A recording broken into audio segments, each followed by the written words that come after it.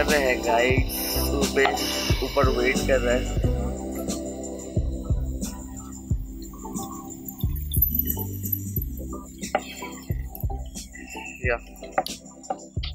बैठ जा। सी रुपेश की जैकेट किस किस तरह से हो गई? है लाइक पूरी की पूरी ख़राब हो गई है और ये मुझे पता है कि कैसे हुई है। जो हमें नो, लोनावला में मॉइस्चर मिला था, जो लाइक बहुत ही थिक और बहुत ही ज़्यादा मॉइस्चर था, उसकी वजह से जो जैकेट है, बाद में हवा लगने से कारण फिर वो ख़राब हो जाती है। मेरे साथ भी ऐसा ही हुआ था। अभी हम अपने होटल से निकल चुके हैं। अभी तकरीबन हम छः किलोमीटर दूर आए हैं हाईवे से तो हमें होटल नहीं मिल रहा था। अब हमें शहर को पार करते हुए छः किलोमीटर अंदर हाईवे पे जाना होगा। वहाँ से फिर हमारी हंड्रेड किलोमीटर की जो जर्नी हमने कल अधूरी छोड़ी थी, वो पूरी होगी। एक तो सबसे गंदी चीज़ होती है और मैं भूल गया था कि लाइक अगर निकलना है तो सुबह में निकलना है तो कभी इतना अंदर होटल लेना नहीं है। अभी अंदर होटल ले लिया और थोड़ा देर से निकले तो ये ट्रैफ़िक तो झेलना पड़ेगा यार।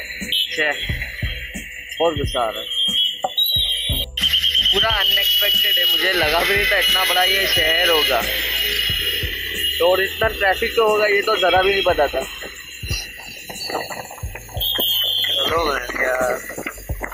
तो अभी एक छोटा सी गाँव आया है, वहाँ पे हम रुके नाश्ता नहीं किया था होटल के अंदर तो अभी यहाँ पे कुछ मसाला डोसा या छोटा मोटा कोई नाश्ता कर लेते ये पता नहीं कौन सा गाँव है।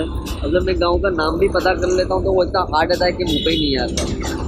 चलो अभी फ़िलहाल तो नाश्ता करते हैं आप वो एक प्लेट डोसा ऑर्डर किए एंड एक प्लेट बड़ा ऑर्डर किए।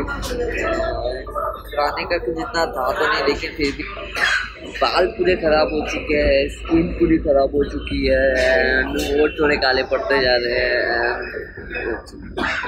जो हाथ है, ये काले हो चुके हैं। बाइक राइड के बहुत सारे साइड इफ़ेक्ट होते हैं।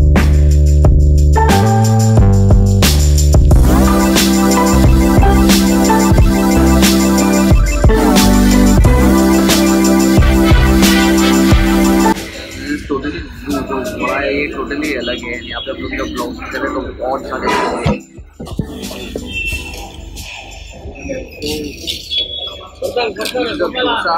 मैंने खाया नारियल की चटनी डोसा मैंने नारियल की चटनी बहुत अच्छी है। वेरी गुड मुंबई में नहीं मिलता ऐसा।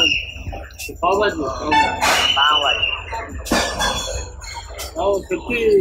मिलता भी है लेकिन ऐसा नहीं मिलता है।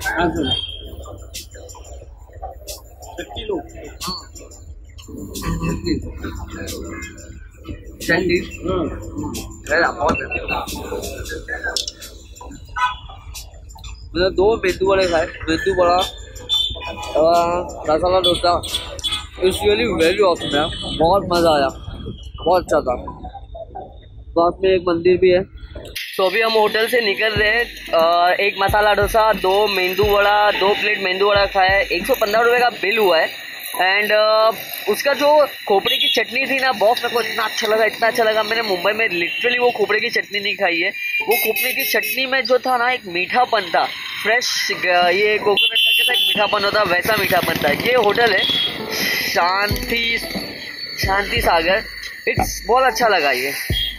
और क्या चाहिए बॉस अलग अलग जगह पे जा रहे हैं अलग अलग जगह का खाना टेस्ट कर रहे वहाँ के कल्चर के हिसाब से खा रहे। हैं ये एक्सपीरियंस बाद में आपको बहुत काम आएगी। अगर काम नहीं आएगी तो एटलीस्ट आपको बहुत सुकून देंगे। चलो, अभी अपने जर्नी कंटिन्यू करते हैं। सिक्सटी नाइन किलोमीटर से पता नहीं है गूगल मैप कभी पचास किलोमीटर कभी सिक्सटी नाइन किलोमीटर बहुत परेशान किया इस ट्रिप के अंदर गूगल मैप ने।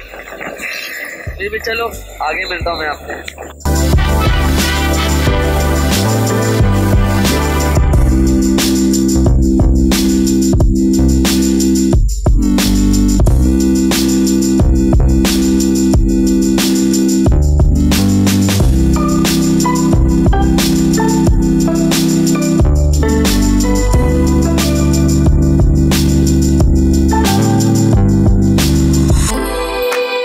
जगह पे रोके, मैं कब से कोई कॉफ़ी प्लांटेशन ढूंढ रहा था, लेकिन आगे एक जगह है, देखते वो कॉफ़ी प्लांटेशन होगा तो वहाँ पे जाके पूछता हूँ मैं कि कोई होम स्टे है कि नहीं वहाँ पे।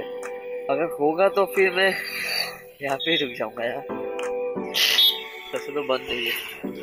यार।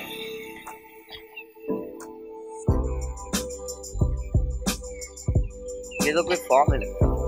और फाइनली मुझे होटल मिल गया है। मैंने ओयो से होटल बुक नहीं किया, जैसा कि मैंने आपको पहले कहा था। यहाँ पे एक होम स्टे जैसे मैं रास्ते में आ रहा था, चिकमंगलूर से 24 किलोमीटर दूर अतिगिरी होम स्टे ये मोबाइल नंबर है। अगर आपको चाहिए तो ये स्क्रीनशॉट लेके ये मोबाइल नंबर देख लीजिए। बहुत अच्छा मेरे को पैकेज मिल गया। नॉर्मली अगर हम ओयो के अंदर रहते हैं तो ओयो वाला अराउंड हमारे से पंद्रह सौ रुपया ले लेता है एक रात का। बट ये पूरा कॉफ़ी प्लांटेशन ये देख रहे हो आप? ये पूरा के पूरा कॉफ़ी प्लांटेशन के बीच में ये होम स्टे ये पर पर्सन का एट हंड्रेड रुपीज़ ले रहा है। Like seven hundred rupees normal stay है एंड हंड्रेड रुपीज़ एक्स्ट्रा है वो कॉफ़ी प्लांटेशन पूरा अंदर से हमें दिखाएगा एक एक चीज़ बताएगा।